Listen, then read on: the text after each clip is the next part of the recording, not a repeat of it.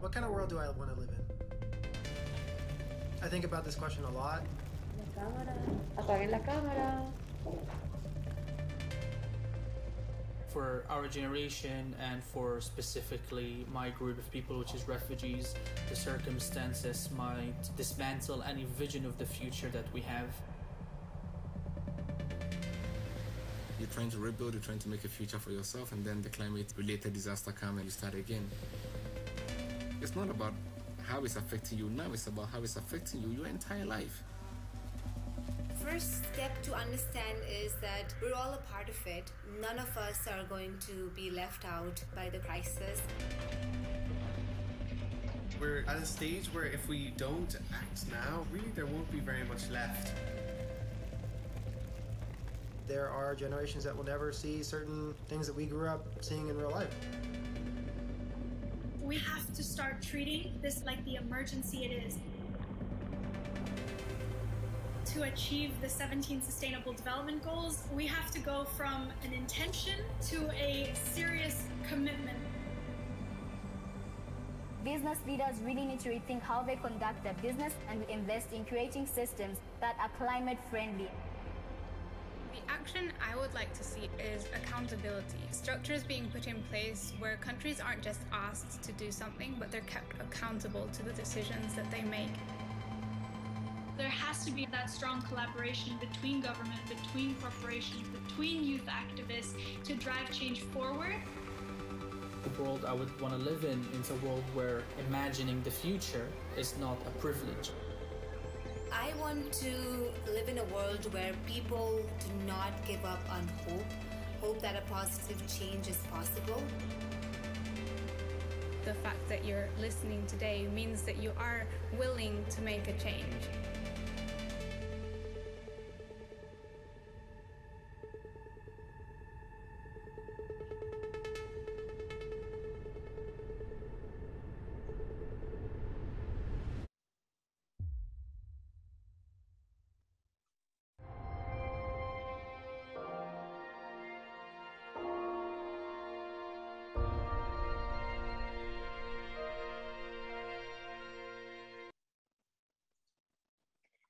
Morning, good afternoon, and good evening to all of our panelists and participants from around the globe. Uh, I want to welcome you to the Scaling Innovations and Technology for Food Systems discussion.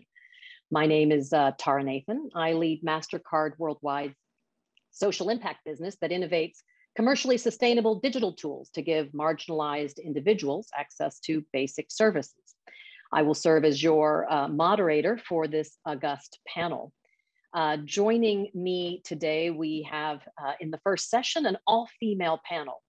I'd like to uh, welcome, we have uh, the Honorable Maria Juliana Ruiz, the Honorable First Lady of Colombia, Hanneke Faber, President of the Food and Refreshments Division uh, at Unilever, Unilever. Uh, Dr. Purvi Mehta, the Head and Deputy Director for Agriculture for Asia of the Gates Foundation. Welcome to all of our, our panelists. There are myriad challenges with today's food systems, from land use to uh, greenhouse gas emissions to food insecurity. Today, we're going to focus on sustainability of food systems, primarily economic sustainability, with the farmer at the center and how operational or other factors can drive to that sustainability. How innovations, both technological innovations, but also pricing, go to market, product innovations can transform food systems to improve farmer incomes and drive towards the SDGs zero hunger uh, by 2030 goal, and ultimately create an inclusive, efficient, sustainable, and nutritious food system. I think we all recognize here that a fundamental shift is needed to create sustainable food systems. Governments must improve policies for implementing innovative solutions. Uh, Private sector companies must bring their expertise and technology to innovate solutions to food system challenges. And of course, donors need to de risk uh, innovation. Many of these changes are underway, from precision agriculture to smart logistics and integrated supply chains. Yet adoption and usage uh, of technology and these innovative approaches that can improve food, security at the base of the pyramid has uh, failed to scale. Broad adoption and usage uh, will only happen if innovations are economically viable, especially for the farmers. And uh, one of the fundamental challenges that we want to talk about to here uh, today is the lack of an operational mechanism for collective action. Whilst I think we all have seen there are multiple thought leadership fora uh, for thought leadership, negotiation, government policy making, we seem to lack a mechanism to coordinate the actual implementation and scaling uh, of these innovations. And that's why the World uh, Economic Forum and partners like MasterCard and those uh, gathered here today are creating country-led food innovation hubs around the world. These hubs bring together the myriad actors required to drive uh, collective action and build sustainable food ecosystems. The hubs focus on adoption and scaling of innovation. Today, we'd like to deep dive from the various perspectives of leaders in government, civil society, private sector, and the farmer, most essentially, on what is needed to build sustainable food systems.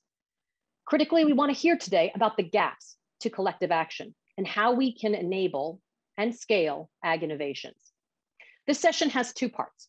We'll begin with an opening plenary, which will be available later for the public to view through the World Economic Forum website. Uh, before moving to a panel where we will discuss how to take this vision to action in the second half. Uh, I have the honor uh, to moderate this panel for the opening plenary. So again, welcome to our esteemed panelists. With that, I'd like to turn to our first panelist, the Honorable Maria Juliana Ruiz. You are very well known for your work and passion driving collective action for the well-being of children, uh, and especially the eradication of malnutrition. Colombia is also uh, one of the first countries to initiate a food innovation hub.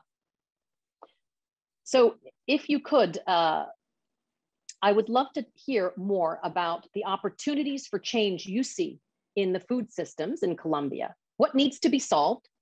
How can innovation help? And how can the food innovation hubs facilitate this transition? Sure. Thank you so much, Tara. Good morning to everybody. It's uh, truly an honor for me to be part of this panel. So uh, to answer your question, I will probably start by the roots, and is to say that agricultural activities, rural communities, local products and producers, as part of the food system, have become vital to Colombia's growth, both in economic and social terms. And I would like to share some numbers. And an example of this is that nearly 3.3 million Colombians are employed in the agriculture and related sectors. So this for us has also become a major target and a specific place to, to work uh, with and for. And, and this also has a specific relevance because this makes the sector as the second largest employment generator in Colombia. So this is truly relevant when we speak about uh, development and sustainable development. Additionally, agricultural competitiveness is a priority for Colombia and uh, innovation takes a relevant part on it. You mentioned I've been passionate about nutrition and I truly believe that if there's a there's a um, an aspect, uh, a a relevant issue where innovation, where the youth can take and play a key role, is uh, presenting innovative solutions to very old and traditional problems in our countries. So as a personal insight, I recognize the need to continue working from a multi-sectoral perspective on improving nutrition, especially of course on women and children. And uh, this is because that for me has been my starting point in, in the role I'm leading right now and is working on early childhood, but with a specific target. And that has been to burst all the physical capacities, cognitive capacities of the children through nutrition at the same time that nourishing them with love and caring um, to guarantee that they're going to be able to fulfill and to achieve their goals of happy lives and productive lives in the future.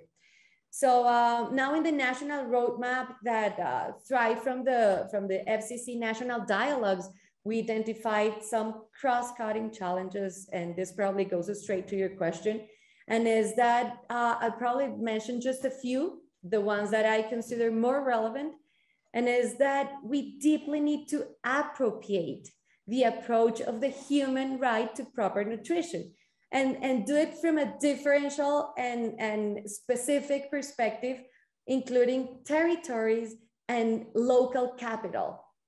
The second one probably would be the imperative implementation of the local public procurement law, because we have it, but we still need to implement it all over the territory, as well as a national food waste and loss policy. We, it was launched two years ago, but we still um, have a good way to work on in order to implement and, and appropriate this policy. The third one that I would mention would be the strengthening of school feeding. And this is also related to, to that concept, probably holistic concept of nourishing mind and soul of the kids. And is that we need to strengthen in that specific period of development of the human being to reassure, as I said, that they're being um, able to, to acquire all the micronutrients they need for proper development. So um, we need to, to, to continue working in that same sense in mechanisms to promote rural, family, and community agriculture, because uh, this is also part of a very important um, step on the whole system. And uh, another relevant issue for us would be to, to once again, from a policy perspective, implement a systems approach on that also promotes high level coordination and collaboration, which is crucial and for me has been proving that is the, is the right way to go to work from a multi-sectoral mm-hmm. perspective on transformation of our food systems. We have done so through the Great Alliance for Nutrition. You have probably heard about it. That's probably one of the of the topics I've been more passionate about. And is that this Great Alliance for Nutrition allow us to convene different sectors and the Colombian Intersectoral Commission for Food and Nutrition Security um, has been very active in this purpose as well. Uh, I would like to share something that for us has been a trigger to continue working in this, in this way as a multi-sectoral approach. And is that last year in 2020, um, in the midst of the pandemic, within the difficulties we were uh, facing, Colombia was able to report a decrease above 40% on deaths due to malnutrition or association to malnutrition for kids under five years old. This, of course, is not the goal, but for us was significant enough to to motivate us to continue working in this in this sense. So I, I hopefully Thank answer you. your question. Yes, absolutely. Thank you so much uh, for that great introduction. And I think Hanneke, who I will turn to next, may have a lot of responses to this. I think the First Lady has clearly outlined the demand, right, on the government side and the importance of nutrition, of secure food systems in delivering um, what is sort of, you know, the basis for not only healthy youth, healthy children, but frankly, a healthy uh, workforce, as she's described, right? Um, so mm-hmm. With that, I, I'll turn it over to you, uh, the Hanneke Faber, the president of the Fruit and Refreshments Division. Um, obviously Unilever has had decades of experience. Um, not only in uh, not only are you a leader in the consumer fast moving goods uh, industry, but frankly, really a leader in driving social change um, through business. Uh, I'm interested to understand from your perspective, how do you see Unilever playing a key role in the innovation and in the change that is required to accomplish some of the challenges that the First Lady has outlined? Yeah, great question. Thanks, Tara. And, and uh, thanks um, uh, to the First Lady as well. It's really impressive um, what's being achieved in Colombia, um, especially in childhood nutrition. So uh, kudos, kudos to you. Um, what do I believe Unilever and, and other private sector companies can do to be agents of change in the food system? Um, well, let me first say, I believe we have an absolute responsibility to help change that system because it is broken. Many of the things were mentioned before on why it's broken. Um, and I don't agree with people like Jeffrey Sachs, who recently said that foods companies should just, um, I think he said, behave, pay taxes, and stick to the rules. Of course, we should do those things. Um, but the system will change faster if the private sector and companies like Unilever do more.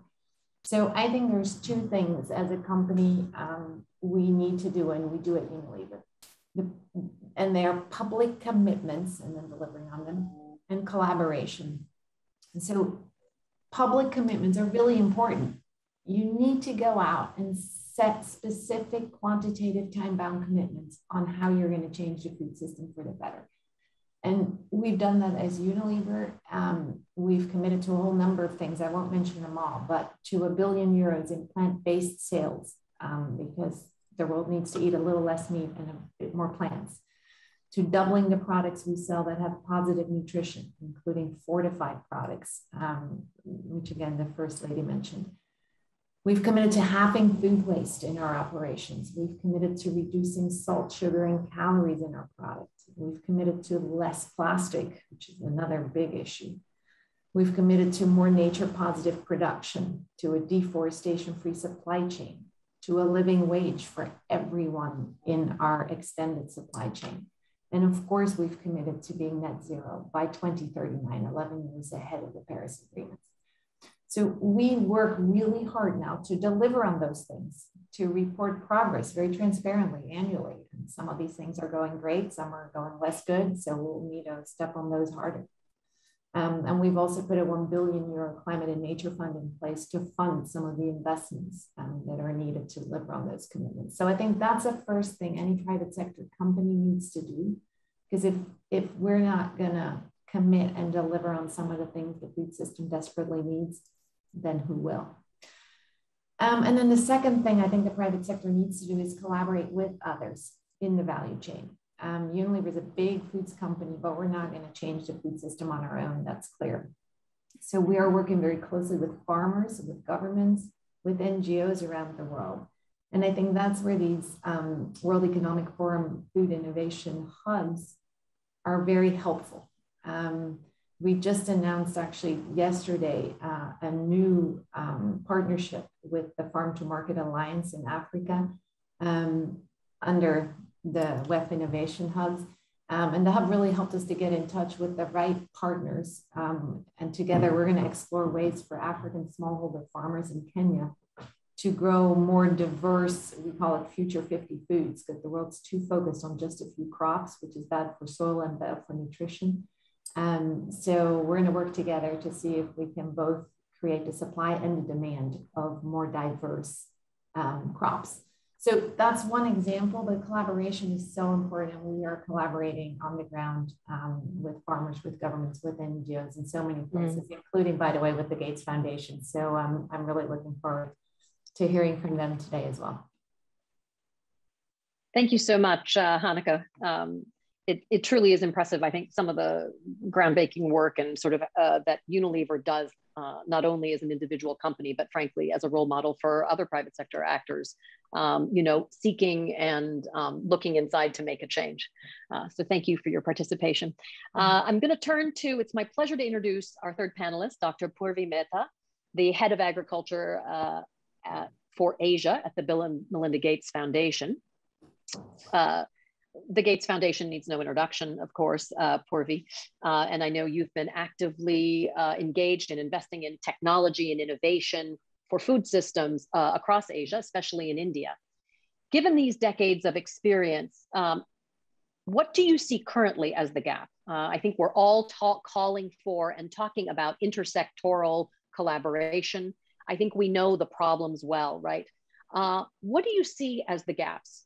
And how do you see us tactically moving forward towards um, filling those gaps and addressing them? Thanks very much, uh, Tara. And I really, really appreciated the earlier comments, uh, of course, from the Honorable uh, First Lady and also from uh, from Hanneke. I think uh, you know they've they've covered uh, quite a lot of things on what is happening. Um, purely from a developing country perspective, I think one of the biggest gap is we have not harnessed the potential enough. Um, you see, predominantly it continues to remain a low input, low output system. And I think any innovations, any collaborations, any transformative ideas that that sort of contributes to turning that low input, low output agriculture system to more sustainable input and profitable output uh, system is going to be very, very important. And when I say profitable output, it is not just a question of the price the farmer, for example, or the producer realizes out of that produce, but at the same time also, as, as the First Lady said, you know, optimizing the value of the produced food also to bridge the huge nutrition gaps. I think, uh, you know, we as a world uh, have come a long way in, in achieving food security, the next step is to really, uh, you know, uh, think about nutrition security uh, in the context of the of the consumers, uh, um, as as Hanneke mentioned and as as the first lady mentioned as well. I think one of the also very important aspects would be food security for the food securers. Uh, world over, especially in developing countries, the, the, the largest number of malnutrient people uh, also happen to be farmers or the rural population, right? And so how do we link um, agriculture production with the with its largest output, which is uh, which is also nutrition, is going to be very important. And more and more in developing countries, I think there are two very peculiar things. Number one is the dependence on locally grown, locally sourced food. I, uh, so so that's where it plays a very very important role. And number two is a re real need, and as you as you mentioned, uh, uh, Tara, in, in terms of the missing ones, I think the real need is also to diversify our agriculture systems, right? Um, uh, uh world over, and especially developing countries, predominantly there are eight to 10 commodities where our investments, our efforts have been the highest, which is, which is usually around staple crops and staple food. Um, how do you diversify that to, to sort of enlarge our portfolio is going to be very important. And while doing so, I don't think there is a trade-off between either you grow nutritious food or you grow, uh, you, you, have more profitability. I think nutrition and profitability for the farmer uh, must go hand in hand to make our uh, foods uh, or food system more accessible and affordable uh, for the farmers. I think um, the, the food systems hub for example, or the Food Innovation Hub plays a very, very important role in sort of decentralizing the risk that the farmer faces right now, uh, and, and also bringing in nuances in the way the systems have been operating, right? The system which has been predominantly production-driven system what we produce is not just uh, important how that produce reaches to the consumer uh, you know so excess affordability and also absorption uh, is going to be very very uh, important there thanks thanks so much um, I'm just checking on time. I think we're doing good on time, so I'd love to take it back maybe and ask a question uh, to all the panelists. I think there's been a couple of really important themes that have been brought up here. One is in this drive for uh, sustainability and, and sort of uh, uh, modernizing or, or changing the food systems. It's about how do we get the farmer at the center? How do we drive profitability? And how do we drive, um, well, economic viability essentially for that farmer at the center? So I would love to sort of hear from uh, from from anyone, uh, but maybe uh, Hanneke, we can start with you, and then maybe uh, Dr. Mehta would be interested to hear what are the challenges for driving or for accomplishing that economic sustainability today. I think we talk a lot about commercial sustainability. We talk a lot about profitability, What are the challenges to getting there uh, from a private sector perspective? And then from a donor perspective, what are the challenges on de-risking that? Monica? Yeah.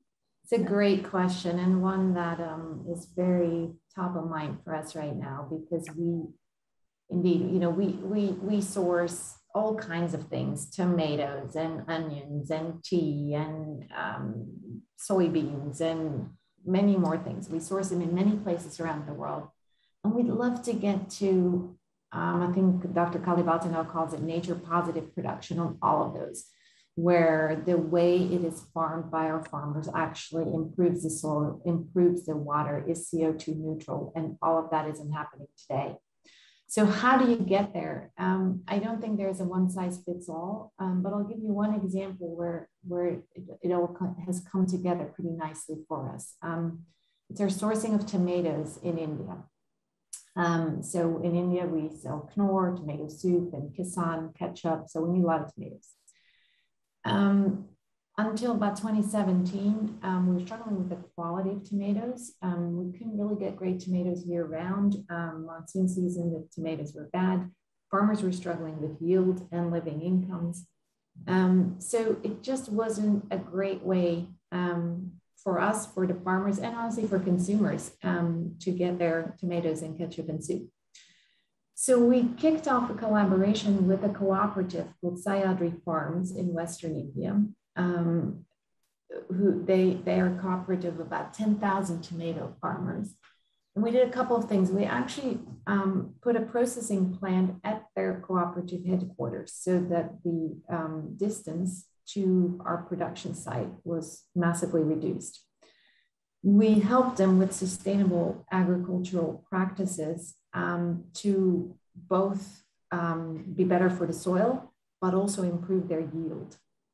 Um, and we help them get to better quality year round. We're now in year five. We're super happy with that collaboration. Yields have doubled for the farmers, which of course has a direct impact on their incomes. So they are well above living incomes now. We get better tomatoes, much more consistent quality year round. And as a result, the consumer gets a better product. So that's a good example, but I'm telling you, that's just tomatoes in India. I've got hundreds of more of these combinations.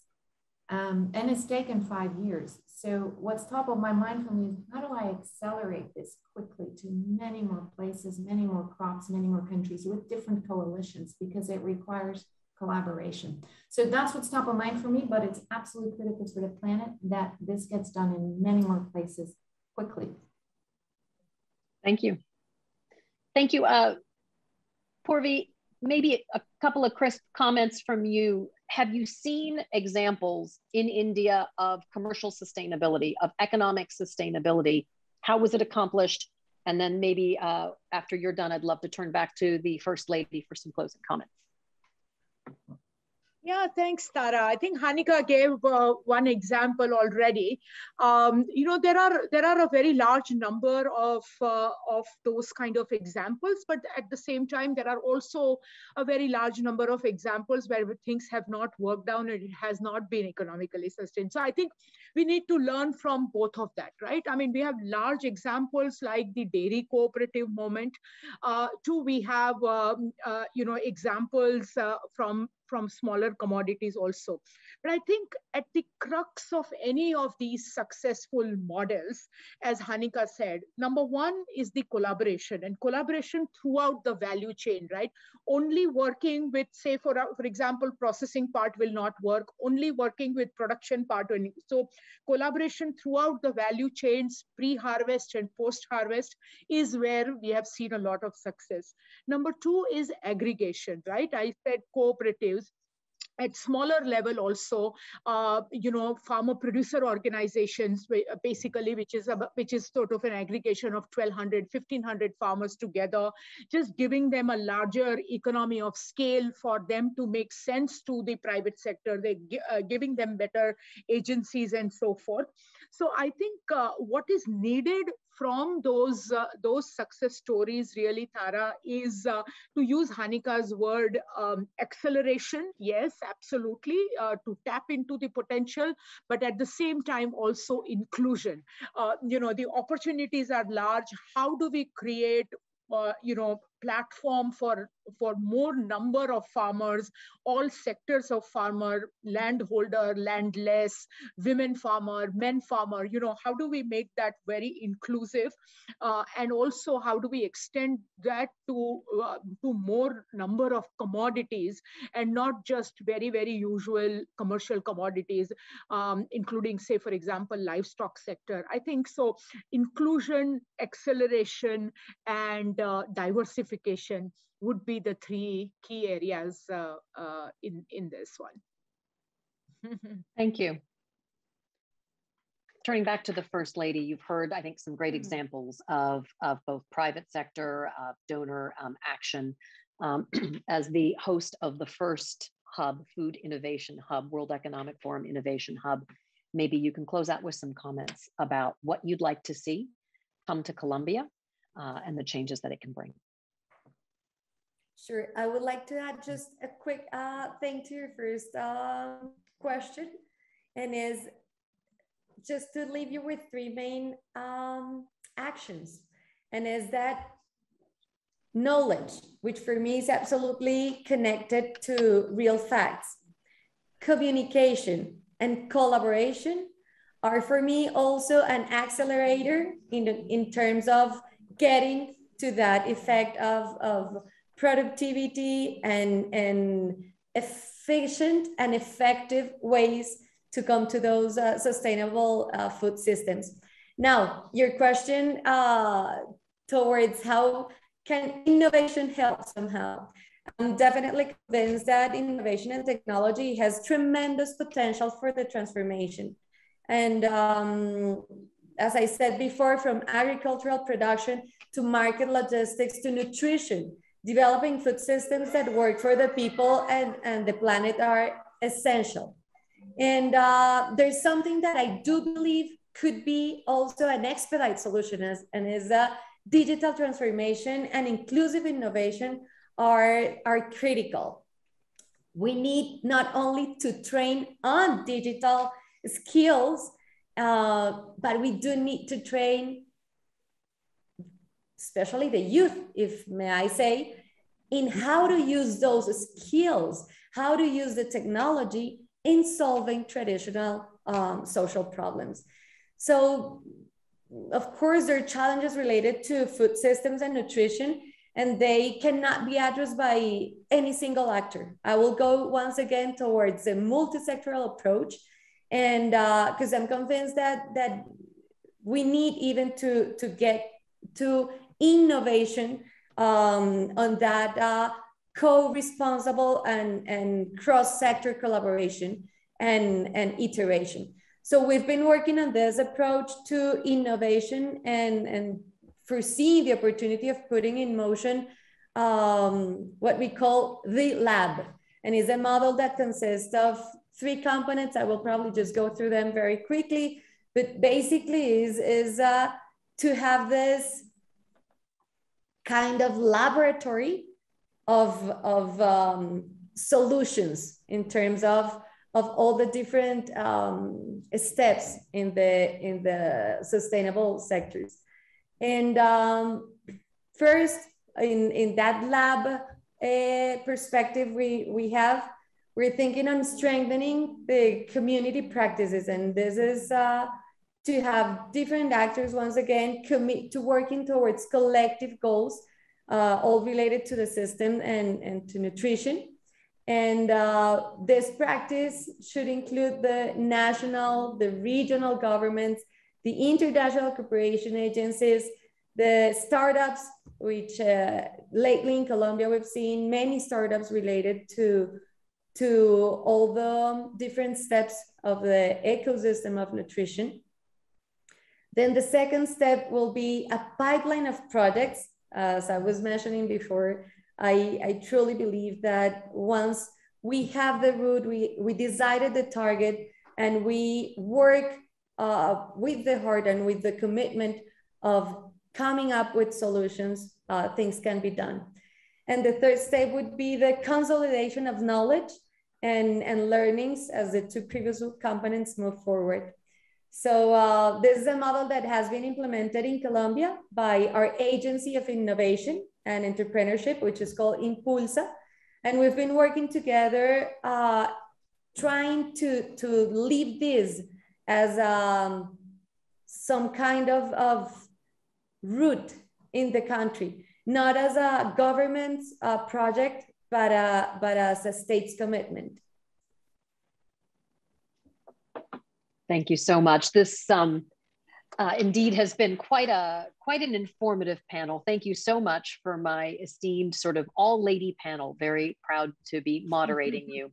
Um, it brings us to a close on the first part of the panel. Uh, we really appreciate you sharing sort of not only your experiences, but your vision uh, for what the future can hold.